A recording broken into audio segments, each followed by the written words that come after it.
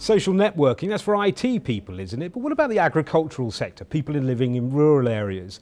Giacomo Rambaldi here, he works for the Technical Centre for Agriculture and Rural Cooperation. Now, you've been training farmers, agricultural workers in how to use social networking. How is it going to help them? Well, with, within a, a, program which started in 2008, we have been uh, offering um, technology intermediaries uh, uh, the possibility of gaining uh, skills and access to online facilities which would enable them to create content, to share content, to collaborate remotely, to, to speak remotely at cost zero uh, among each others. So that has proven extremely, extremely uh, successful. Um, once these people are exposed to this kind of technologies, they, they want to continue learning and discovering, and that's the beauty of the, of the, of the process. And how, do, how would a farmer in rural Africa, for example, use this? Well, there are, uh, I, would, I would rather speak about a farmers organization, okay, who would act on behalf of the farmer. So the farmer organization would set up a, a Facebook page where, for example, they are um, discussing and, and, and showcasing their products or sharing uh, up-to-date information on the latest publication on uh, which is available on how to grow pigs, for example.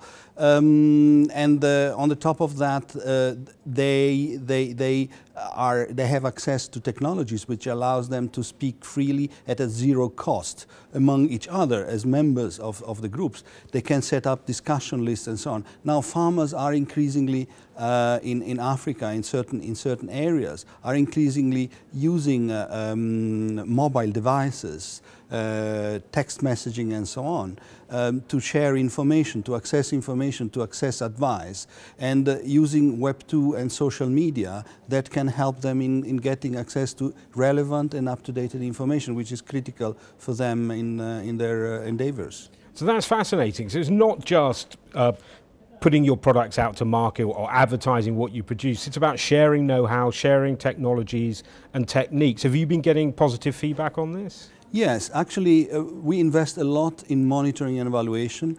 Uh, we, we get back to the trainees at regular intervals and get feedback on what they have been doing, what has changed at their professional level, their individual level, at institutional level, and at their beneficiary level. So we, we have done a, a study over the period 2008-2010 which has guided us in improving the, the curriculum of the training and we are doing now one study covering uh, the period of 2011-2012. So all these studies allows us to assess the impact and improve service delivery. And uh, we have impressive returns. I mean, I've been working in development for 32 years, and I must say that this particular program is the one which is yielding the best returns uh, and makes a change in life of the people. So when you get emails telling it changed my life, I mean, you as a person, you are extremely gratified by that. Thank you very much. My pleasure.